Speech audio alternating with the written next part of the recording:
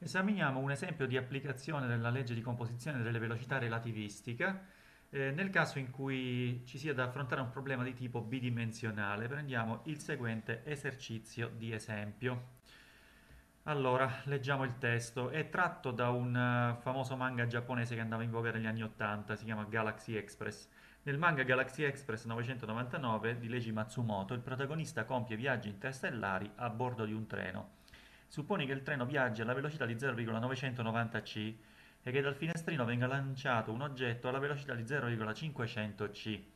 Si tratta di quasi il 100% della velocità della luce, siamo al 99%, e del 50% della velocità della luce rispettivamente. L'oggetto è lanciato in direzione perpendicolare al moto del treno. Calcola il modulo della velocità dell'oggetto misurato da un osservatore fermo e l'angolo che tale velocità forma con la direzione del treno. Fondamentale per poter comprendere come procedere con questo esercizio è fare uno schema dettagliato della situazione. Esaminiamo quindi cosa succede nel sistema di riferimento del treno. Rispetto alla figura che richiama il famoso cartone, noi facciamo uno schema più semplice del treno rappresentandolo con un, con un rettangolo.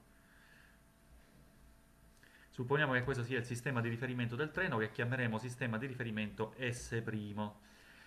In questo sistema di riferimento la Terra, che supponiamo essere ad una certa distanza, non ha importanza quale, si sta muovendo verso il treno con una velocità che indichiamo con v. Questa velocità è una di quelle fornite dal testo dell'esercizio, precisamente 0,990 c.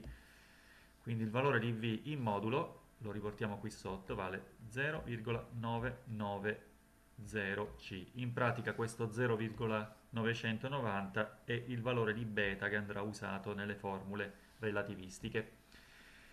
In questo sistema di riferimento dal finestrino del treno viene lanciato un oggetto che noi adesso rappresentiamo in blu, supponiamo una pallina, un sasso, e questo oggetto ha una velocità diretta perpendicolarmente alla direzione di moto del treno, quindi alla direzione longitudinale per il treno, che indichiamo con U'. Questa è la velocità di questo oggetto misurata nel sistema di riferimento S' del treno e sappiamo anche che U' vale 0,500 c. Il doppio zero sta a indicare che stiamo lavorando a, due, a tre cifre significative, quindi eh, 0,500 è la frazione della velocità della luce, metà. Ora dobbiamo esaminare quello che succede nel sistema di riferimento della Terra, Chiaramente le velocità cambiano e si vuole sapere nel sistema di riferimento terrestre come cambia in particolare la velocità U'. E allora facciamo lo schema immediatamente sotto a quello che abbiamo visto adesso, rappresentiamo nuovamente il treno, quindi lo riproduco identico e lo vado a mettere qui sotto, solo che adesso il treno va pensato con una velocità diretta verso la Terra, che chiaramente da un punto di vista vettoriale è meno v, però scalarmente è sempre 0,990 c. La Terra si trova qui, stavolta siamo nel sistema di riferimento della Terra che indichiamo come sistema di riferimento S. In questo sistema di riferimento la Terra è ferma, il treno si muove con velocità diretta verso la Terra, dobbiamo capire come si muove il sasso. Il sasso si trova qui, la sua velocità chiaramente risente del moto relativo terra-treno, quindi sarà orientata in una direzione obliqua. Eh, in questa eh, rappresentazione dobbiamo considerare che questa velocità si scompone in due parti, una perpendicolare al treno, alla direzione del moto terra-treno, e una parallela alla direzione del moto. Noi dobbiamo capire quanto valgono rispettivamente ux e uy. Il vettore in verde rappresenta il vettore velocità u e poi abbiamo le componenti uy verticale e ux orizzontale. Dobbiamo capire come sono fatte queste due componenti e poi in base a quanto c'è scritto nel testo vuole sapere anche quale, che angolo forma la direzione della velocità rispetto alla direzione del treno, quindi siamo interessati a trovare quest'angolo che indichiamo con alfa. Per poter calcolare l'angolo alfa bisogna lavorare con un po' di goniometria conoscendo le componenti ux e uy, quindi fondamentale è trovare queste componenti. Andiamo a richiamare le leggi di trasformazione della velocità eh, di natura relativistica E in questo caso per le componenti ux e uy bisogna richiamare delle formule che fanno uso delle componenti ux' e uy' misurate nel sistema di riferimento del treno. Queste le possiamo stabilire in base alla situazione che abbiamo geometricamente descritto all'inizio. La componente verticale della velocità è diversa da 0 ed è pari esattamente a U', cioè 0,500c, e invece la componente orizzontale è nulla, quindi possiamo qui scrivere che la componente orizzontale è 0 e la componente verticale vale esattamente U', cioè 0,500c, o possiamo anche scrivere un mezzo c, visto il valore 0,500. A questo punto andiamo a scrivere le leggi di trasformazione. Per la componente orizzontale e per quella verticale, o meglio per la componente parallela alla direzione del moto del treno, che è quella che abbiamo indicato con la x, eh, si ha una correzione che non contiene il fattore gamma, cioè abbiamo 1 più u'x v fratto c quadro al denominatore e sopra c'è un'espressione che richiama la legge classica di composizione delle velocità, cio' alla velocità ux' va sommata la velocità del moto relativo.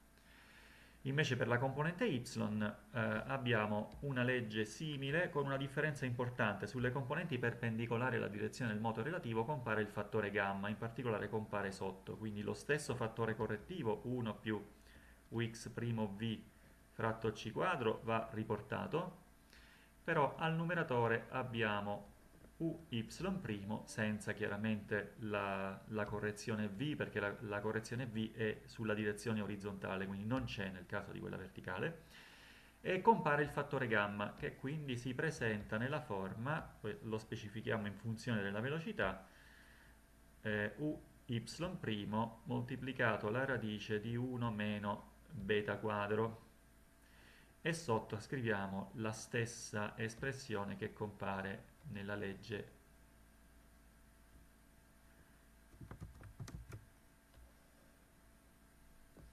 Eccoci qua.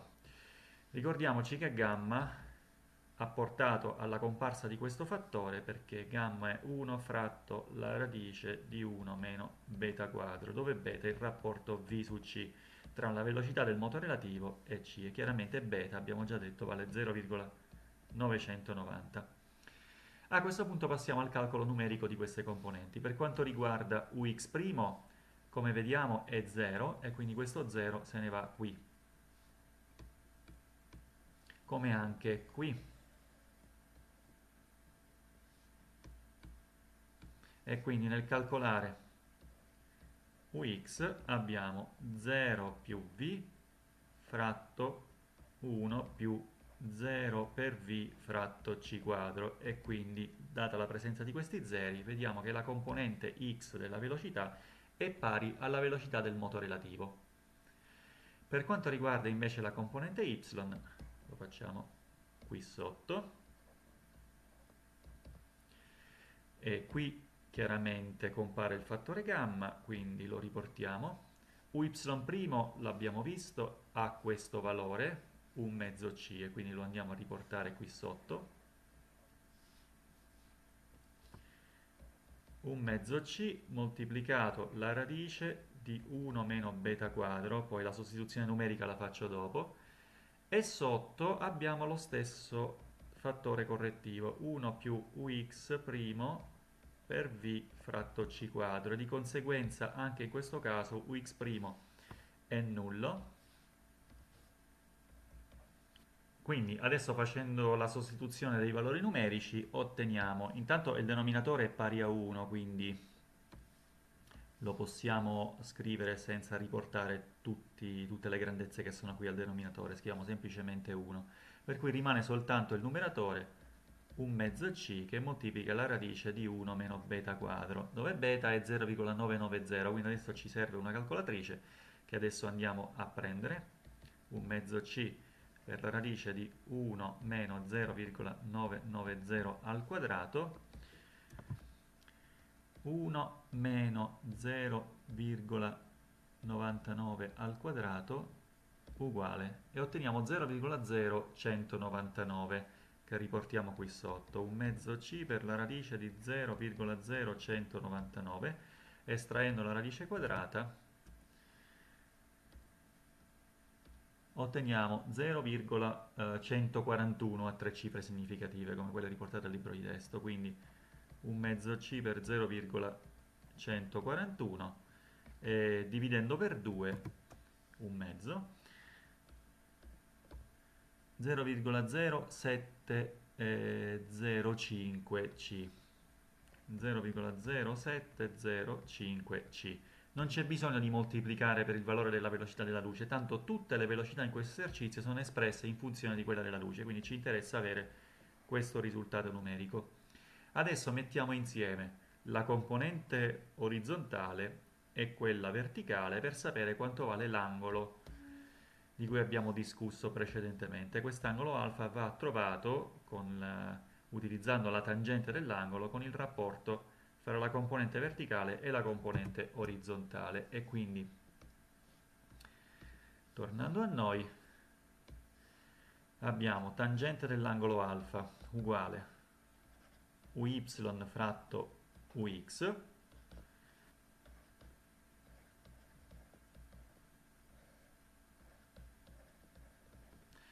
occorrerà fare l'arco tangente di quest'angolo per sapere quanto vale l'angolo. E facciamo il rapporto a 0,0705 diviso 0,99 questo è il risultato. Facciamo la funzione inversa della tangente. Abbiamo 4,07 la calcolatrice è tarata in gradi quindi abbiamo un angolo di eh, 4,07 gradi questo per quanto riguarda la direzione rispetto a quella orizzontale se poi dobbiamo ragionare sul modulo eh, la velocità u è pari alla radice quadrata di ux al quadrato più uy al quadrato cioè la radice quadrata di 0,7 990 al quadrato più 0,0705 al quadrato, tutto moltiplicato per c.